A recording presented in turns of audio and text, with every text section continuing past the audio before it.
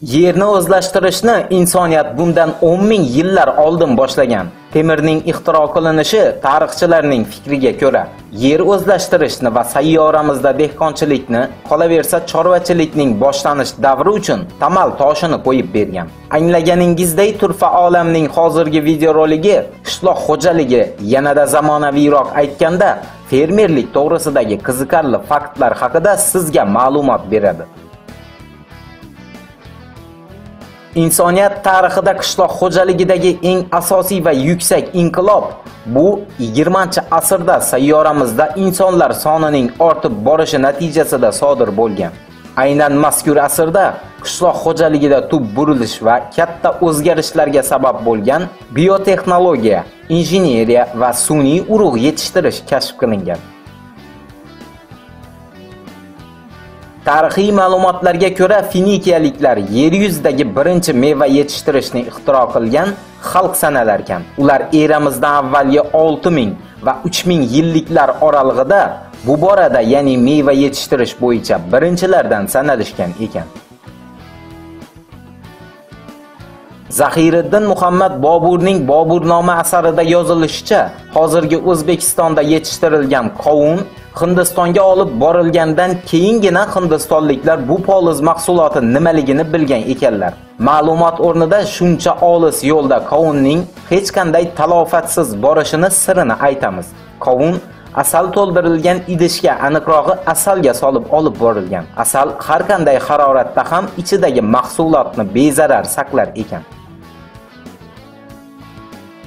Eramizdan avvalgi 4000 yillikda Mesopotamiyaliklar irrigatsiya sohasida ilk bilimga ega odamlar sanalishgan. Ular shu paytda eniga 2 kilometr masofaga cho'zilgan yerlarni sug'orish texnologiyasini o'ylab topishgan. 644-yilda arab xalifasi qo'l ostida fan bilan shug'ullangan O'rta Osiyolik olimlar dunyodagi birinchi baland yerlarni sug'orishga mo'ljallangan moslama charxpalakni ixtiro qilishgan. Yevropaga esa diqqat qiling, bu ixtiro o'rta asrlarda, ya'ni 12-asrning oxiridagina yetib borgan. 20-asrning boshlarida Mary Isabel Fraser Xitoyga sayohat qiladi va o'zi bilan kivi tropik mevasini urug'ini Yangi Zelandiyaga olib borib ekadi. Bu voqea, ya'ni Yangi Zelandiyada birinchi kivi mevasi 1910-yilda olingan. Hozirgi kunda esa Yangi Zelandiya ushbu mevani yetishtirish bo'yicha e'tibor bering, jahonda 3-o'rinda turadi. Banan eng ko'p talab qilinishi bo'yicha oziq-ovqatlar yoki qishloq xo'jaligi mahsulotlari ichida bug'doy, guruch, makkajo'xoridan keyingi o'rinda, ya'ni 4-o'rinda turadi. Eng ko'p banan yetishtiradigan mamlakat bu Hindiston hisoblanadi. Undan keyingi o'rinlarda esa Filippin, Xitoy va Ekvador boradi.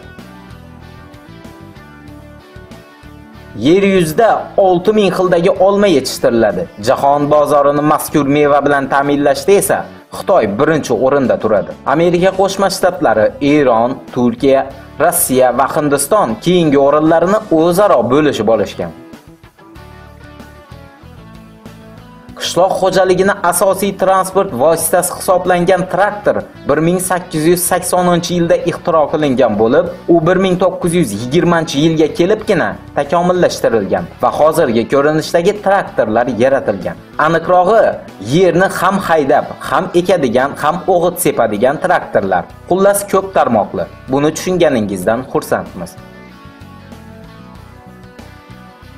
Jahonga ko'p tomonlama o'rnak qilib ko'rsatiladigan Amerika Qo'shma Shtatlarining iqtisodiyotini asosiy qismini chorvachilik tashkil qiladi. Amerika Qo'shma Shtatlari jahon bozorini qoramol go'shti bilan ta'minlash va yetishtirish borasida birinchi o'rinda turadi. Har yili Amerika Qo'shma Shtatlari 34 million bosh qoramolni o'z aholisi va eksport uchun ajratadi. Bu esa bugungi kunda jahondagi barcha mamlakat yetishtiradigan qoramol go'shtidan ko'pligini bildiradi. Turfa olamni kuzatib boring. Qiziqarli ma'lumotlar hali oldinda.